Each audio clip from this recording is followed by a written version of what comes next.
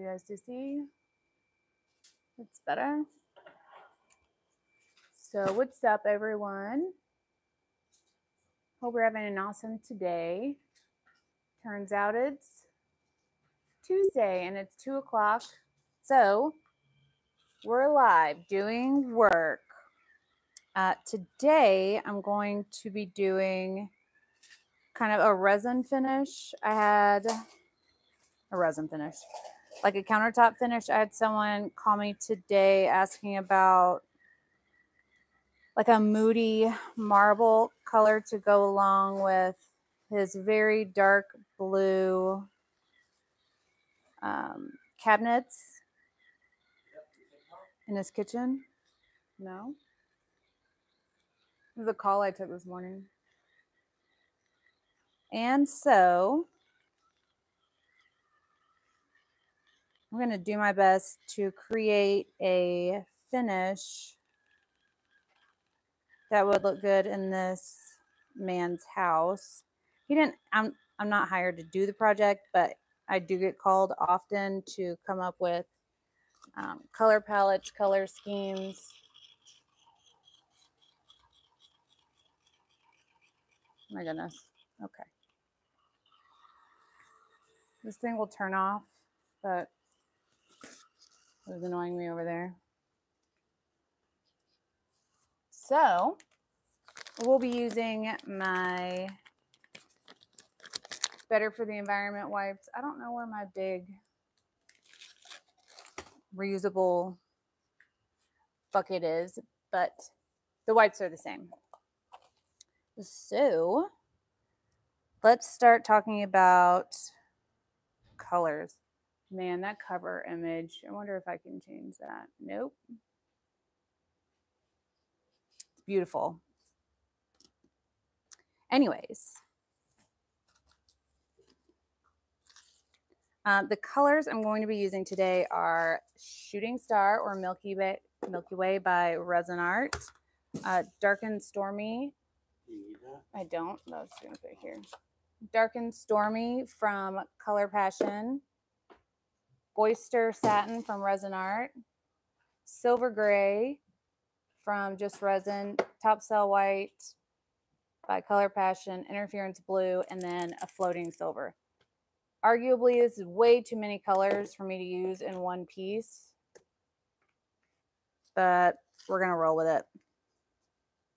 I hope you've all had an awesome day. Thank you all for joining me. Uh, if you're new here, hi, hello, what's up? I'm Erica. I'm the one in the horrible cover image, which I'll be changing as soon as I post the video. And um, we do art every day. We try to do live artwork every day. It's not always resin, but it's always a good time. And we're so excited to have you guys here. So let's get arty. So I'm only going to mix up the amount of color that I I feel like I want represented in a piece. And usually I do this off camera. But I know I want a little bit more of this, a little bit more of this. JK, I don't want more of that. I want more of this.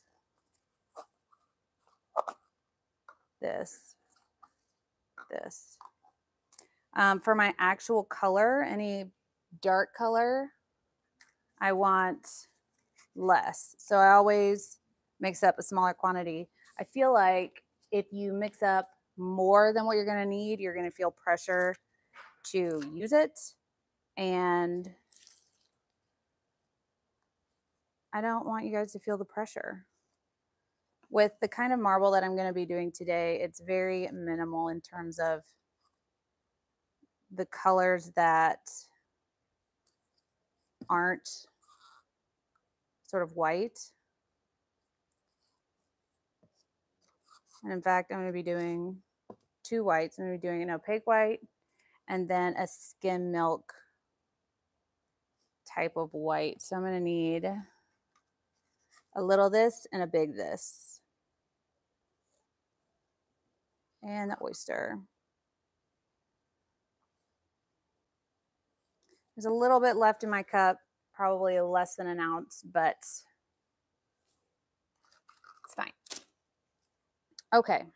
let's start with the interference blue. So interference interference blue is um, a color that some people get mixed up with um, a chameleon, but it's not a chameleon. It's just a pigment that shines blue under certain light. Like where a reflection would hit it, it's going to present as blue. I don't want this to be opaque. I just want it to have a blue sheen. So I used not that much, but you can see where it kind of has splatted out that blue sheen that's in it. Blue. I think interferences are really good to add a pop of something that's like, wait, what was that? Did I did I just see that? So I can still see all the way through my resin down to the stir stick, but where the light hits it, it's shining blue. If I were to add too much of the interference blue, it would turn into a cloudy milky white and the blue wouldn't be as awesome. Hello, Dee, Chrissy, JJ, Paula, Shannon, Julie. Thank you guys for showing up with me today. If you have any questions, just let me know. I'm always happy to help. All right, we're to put that aside. This is Milky Way or Shooting Star. It looks like wet coffee grounds a little bit, and it looks like it's going to stay a chunky consistency in the resin, but it's not. I promise you. So just like with the interference blue, we're not going to use that much because if you use too much, it'll make it opaque. And I really want to not have it be opaque. Stone Coat, what's up? I was just telling everybody I had someone call me asking questions on what they should use for a color palette to match a picture of their countertops that they sent me and um, I'm doing a color test for them because I love to do color matching for people. Big Mitch, love to see you guys. Okay. And thanks for using our colors the other day on your last live. So I'm going to use minute amount of this top cell white in my big cup, slightly more than minute, this much of minute. And I'm doing that because I want this to be a translucent or a see-through kind of, I'm trying for frosted or like skim milk. So I want to be able to see the stick through the resin, but still have that haze. And then I'm going to mix up just a little bit for my um, opaque white. Sorry, I get lost in words sometimes. So I'm going to use essentially the same amount of pigment, but in this little cup because I want it to be opaque. And opaque is when you cannot see through your color to whatever's behind it. So when we're doing a test to see if this is opaque, I'm just going to hold up my stir stick and see if I can see the brown, which you cannot. So we have an opaque color. Next color I'm going to mix up is called Silver Gray. It's kind of a kind of blue, bluish taupe. If that makes sense. And I want this to be opaque, but we're not going to use that much of it. So we put it in one of the smaller cups. Now, this doesn't look like it would be that dark of a shade, but trust me, once it's in the piece, it's very noticeable when you have um, basically all whites and creams, and then you drop this in. It's very noticeable. So the next color I'm going to do is Interference Oyster Pearl. And I really like this color because it's a very satin pearl. I mean, it's oyster pearl satin. So That makes sense. I always forget when I'm mixing a powder not to just go ham and start mixing it really fast right away because then you get that puff of mica in your face, which is one reason why I really, really love pastes. There's many reasons. That's just one of them. So this is super beautiful pearly oyster. You can make it more opaque by adding more pigment, but I'm not going full opaque. I like to have translucence in my um, colors in my pieces because it shows more depth and more depth is how you get realistic finishes. Would you rather do a river table class via Zoom remotely in your own shop following along with me or fly out to Oregon tech, or Texas for an in-person river table class? I, personally, I'm doing in person. Okay, and this is the color that I feel like a little bit is uh, represented in the person, I think Michael called me today. And I think this is, it's a little bit more green than what his um, cabinets are, but we're not going to use that much of it. I'm just using it as a deep pop of color.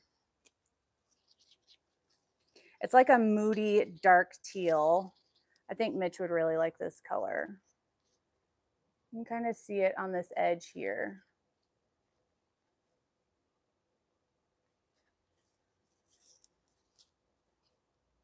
Love it.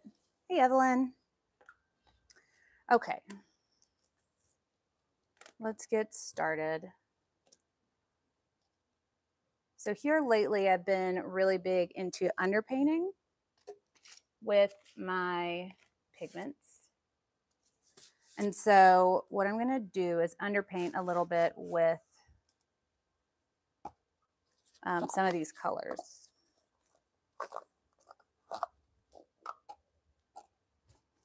But I've forgotten to lift my cradle board. There. Okay, so first I'm going to just kind of rough draw in some lines.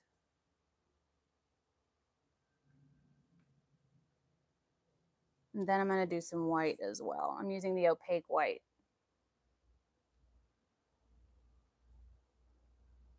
This is one of those processes where you just have to trust trust the process. So now I'm going to use some Milky Way if you are used to diamond dust from Stone Coat, it's similar. And I'm going to do some of the interference blue. And some of my pearl. I'm going over the subtle lines that I already put in.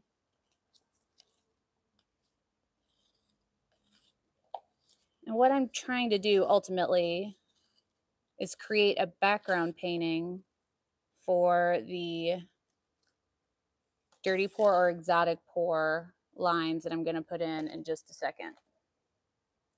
So I'm just going to skim my hand over the piece and just make sure that there's no um, dry areas left. And because I use translucence and transparents, you can see the um, underpainting that we did with the resin. For me, underpainting is one of the best ways to create depth and shadow and shading without, I guess, kind of going too far with it because sometimes you can definitely take color too far, especially if you're doing a marble piece. It's very easy to add too much of a color. And unfortunately, when you do that, it's very hard to take that back. So I'm not trying to blend everything in that I have down. I'm just covering all of the dry canvas. and taking hair out because apparently I'm shedding. Awesome. So we have very thin skim coat down.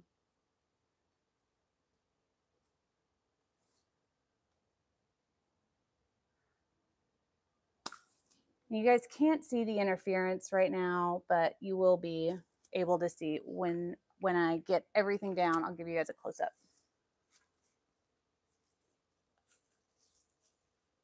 Chrissy, you want to start doing countertops? You've been doing practice boards, but you're really wondering what would be to start out charging.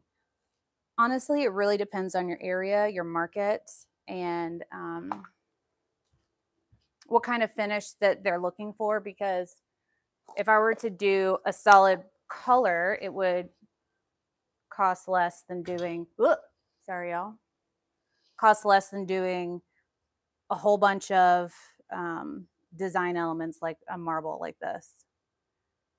So just be cautious of that. So I'm going to create a dirty pour or an exotic pour. I'm putting my translucent white in.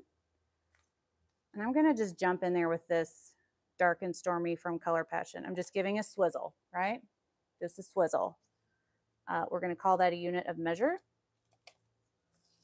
When you're doing a dirty pour or an exotic pour, it's really important to get your colors into your cup and then back out as quickly as possible because the longer they have in here to kind of hang out and talk to each other, uh, the more you're going to get kind of a sporadic or crazy um, pattern. Swizzle of the silver gray. And that's all of the kind of darker colors that I'm going to add. And now I'm just layering everything else that I've got. The Milky Way, the satin oyster, the translucent white, the opaque white. Did I say interference blue? Because that's in there. I'm Just layering them all. Then once you have everything layered, I I give just a good swirl for good measure. And that's just so that when you first pour it out, it's not just the boring top color that you put in. I didn't mix it, I swirled it. So different. So now I'm going to lay this dirty pour out in whatever fashion I feel like I want to go. Currently, it looks like this.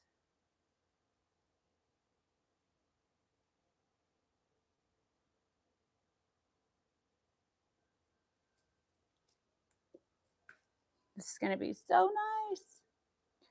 Since I have already a layer of resin down before I did my dirty or exotic pours, my pour, my dirty pour and my underpainting are just going to start to level out on their own. If I were to have done that, the dirty pour or exotic pour on a dry surface or one that just doesn't have any resin, uh, it just it wouldn't level like I want it to. It would start to roll over itself as it's trying to get out of um, being such a high pour because generally resin's gonna pour out at like a quarter inch but it's going to try to self level at an eighth inch. So if you help it do that, you're going to waste less product, in my opinion. All right, now I'm going to just add lines of the rest of the resin that I have. So I'm adding some of the translucent white in the areas where I feel like I need to brighten it. I probably won't add any um, words are hard. Any of the silver gray or the dark and stormy. But I might. You never know.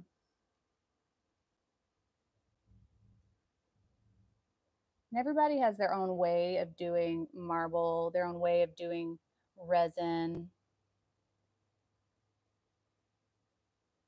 Mitch is a very talented resin artist with Stone Coat. Very blessed to have so many talented friends around me. I think it's important to have a bunch of talented people around you. Because if you're the most talented person in the room, you need to switch rooms. That's just my opinion.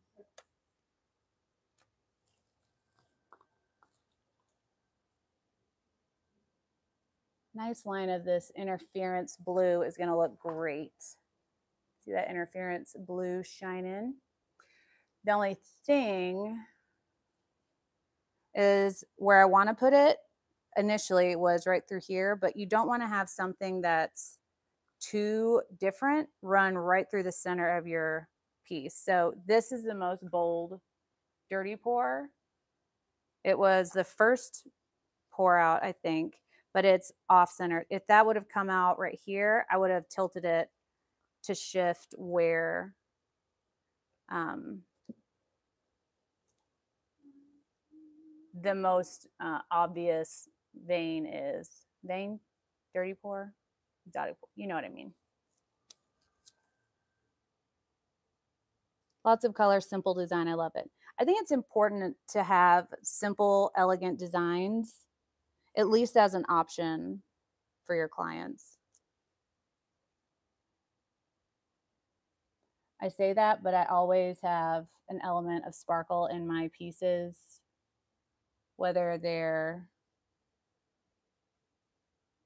um, a countertop or an art piece. I'm trying to decide if I want to add some lines of the gray. You can see the gray kind of peeking through in some areas some slashes of the dark and stormy coming through. What do you guys think? Should I add more of the silver gray?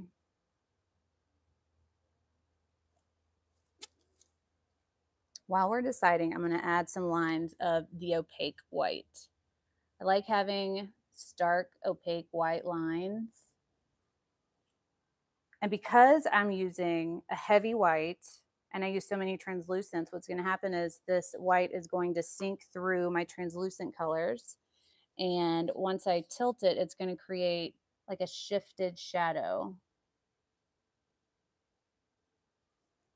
It's just a super easy way to create depth, which I'm all about easy ways of creating depth.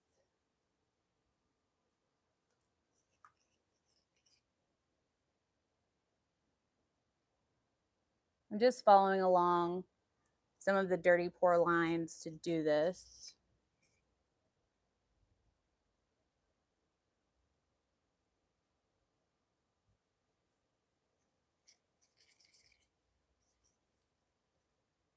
Walk away. All right. I always trust y'all's judgment.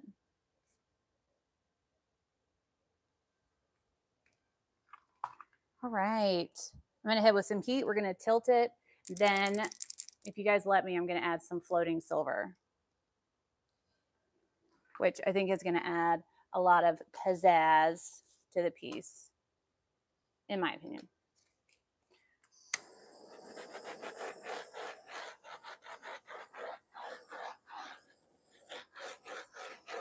So I'm just trying to pop the bubbles. I'm not trying to create movement. So that's why I'm using a chef's torch and not a big, huge one or a something, what's the word?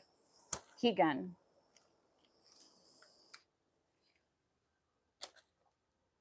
Also, when I picked that up, I dropped a couple of bits of trash.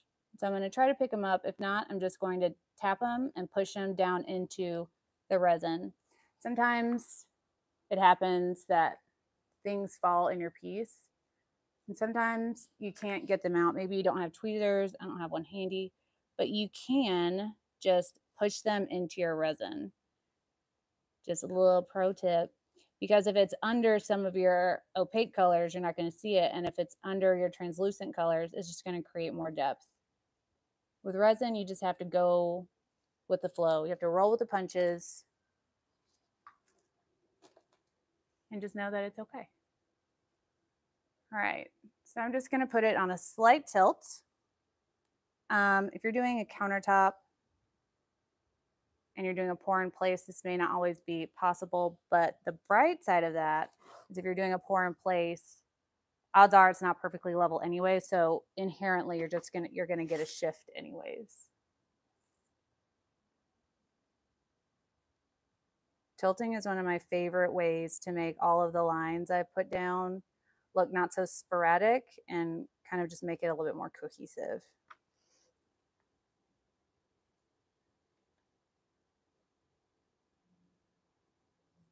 My goodness, these colors are rolling over themselves and they look so great. Let me take my gloves off and I'll give you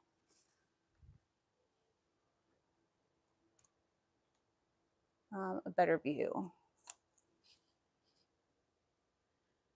So that looks like a straight up shadow, but it's just that opaque white rolling over some of that gray.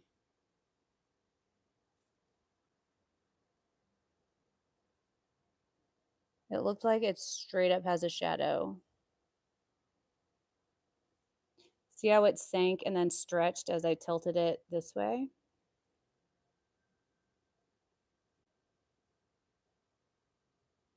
That's the oyster. That's that that color right there in the light. Then this is Milky Way. This is a dry spot. Don't mind that. And so all of these ribbons and veins are lapping over each other. And that to me, not being a, like in masonry or any of the awesome things that like Mitch is into. I don't know all the things, but I do know I know color and what I think looks good. That's not always accurate, but in my head it looks good.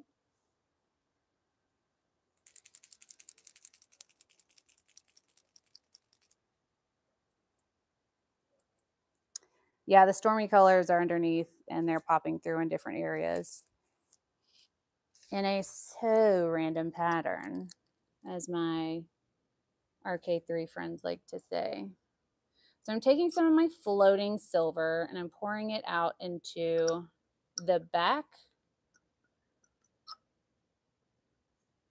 of a paper cup. And I'm doing this specifically because I need the propellant to work its way out.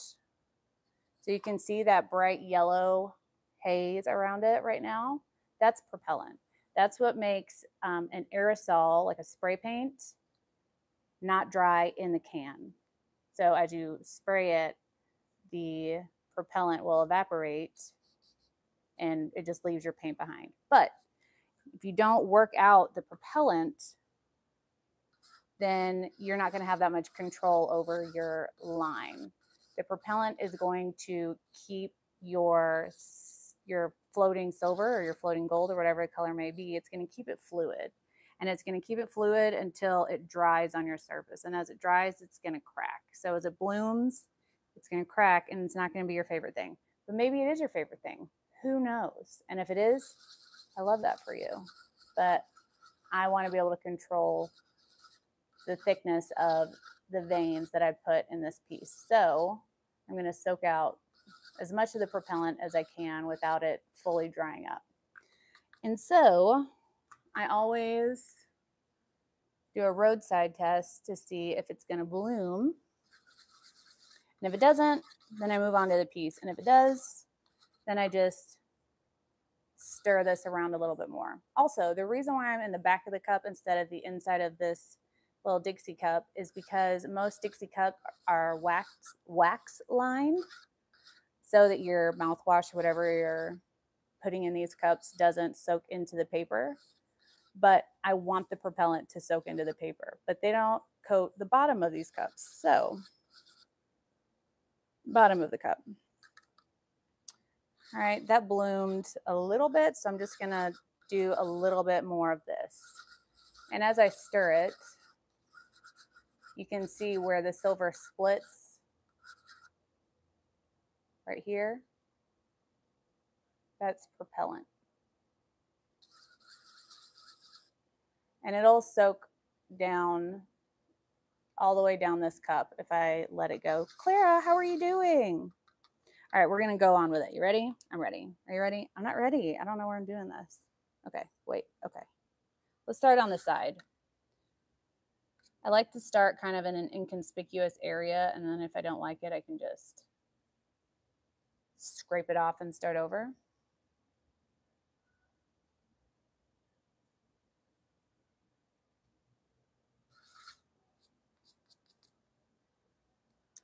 So this is also going to be giving me kind of the dark, the dark accent my eye, I think I was looking for when I was asking if I should add more of the um, silver gray. And this floating silver, it's gonna, it's, it literally just floats on the surface. This should be the last thing you do after you have heated your resin, done all your tilting and manipulating, because this isn't going to, um, it's not going to do anything pretty if you try to manipulate it after it dries on your surface. It's just going to crack and it's not going to look fun.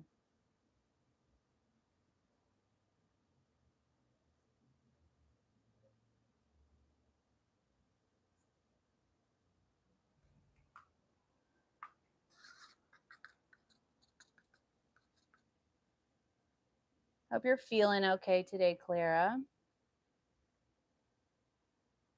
Wait till you see what this floating silver looks like. You guys are going to absolutely love it.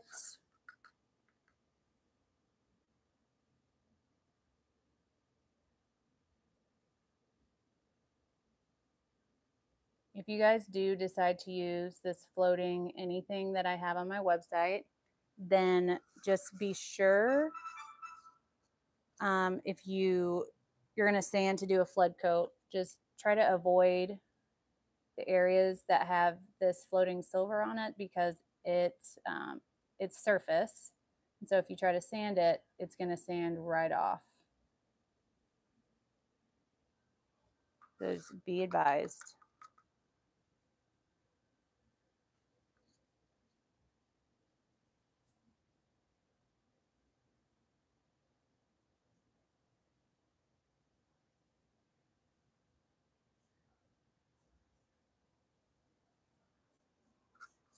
Feel like I don't want to go right through the center, but it needs something. So I'm just going to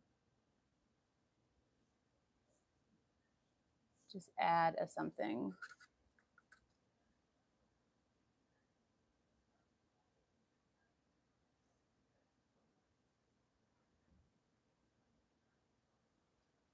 I'm good with it.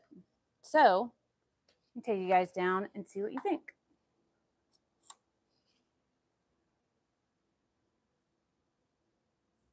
Floating silver, floating silver.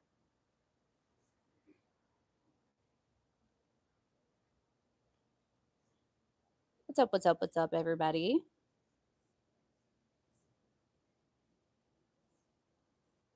I think that floating silver adds just a touch of something just magical, in my opinion. I love it. What do you guys think? You should add anything? Take away anything? Also keep in mind that this is going to change and shift a little bit as it's curing and self-leveling. It's going to do more things. So never really, unless you're really good about keeping your everything level and pour it out at an eighth inch, it's going to move. It's going to change. It's going to do something and can't really control it. So you just have to look forward to like a nice surprise, essentially, once it's um, done. Gail, thank you so much.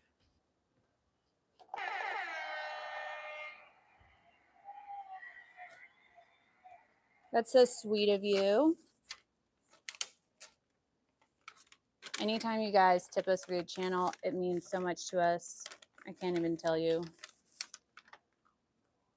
It means the world.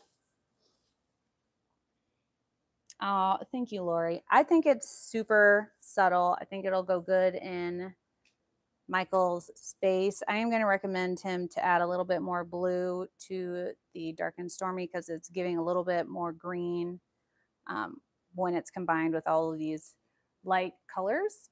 So, so yeah, I think, I think we're good. Do you guys have any questions, comments, concerns?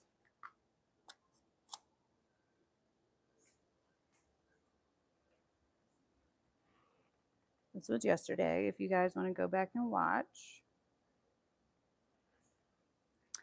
I like subdued look too. I think I have it off kilter. No? Let me. Oh, I'm experimenting with something. I want to get y'all's idea, thoughts on. Let me just take this to the dust free zone real quick.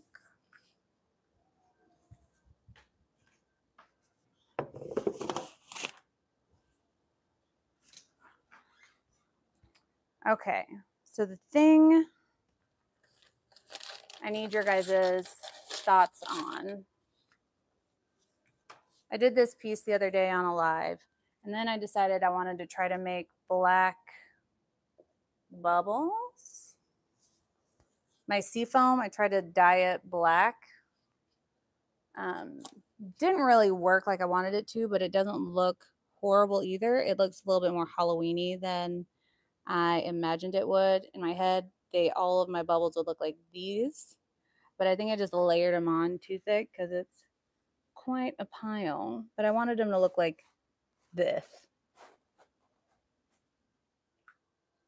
A lot of people like adding black lace to pieces. So I think this is going to be a good thing to do. I just need to remember to lay them down thinner.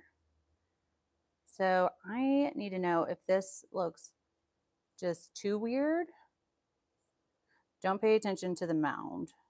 Pay attention to my these. These edgy bubbles that you can see all the way through. These. So essentially it'll look like this, but be this. And these.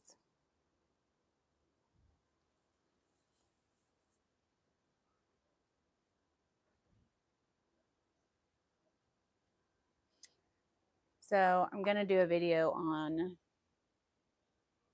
sorry for all the movement. I'm going to do a video on my these.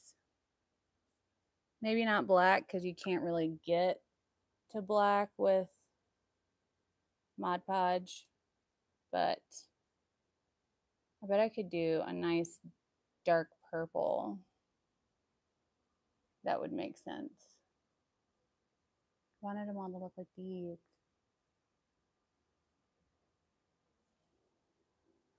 Oh well. All right, you guys. I hope you have an amazing Tuesday. Thank you so much for the contribution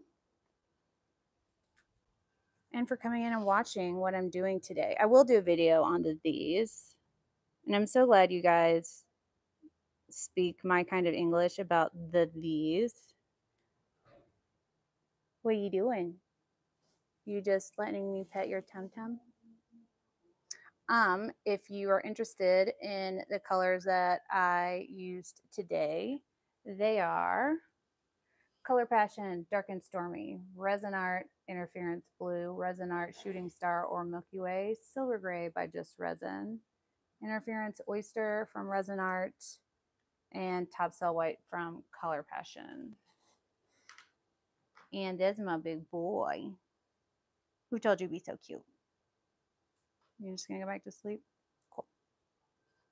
All right, you guys. I hope you have a stupendous rest of your day. I'll see you here tomorrow at um, 6 Central. And I hope you have an awesome day. Be kind to one another because you never know what someone's going through. And always remember, she does test. Yeah, we do the test so you don't have to. We'll see you guys next time. Bye. Bye. We said bye.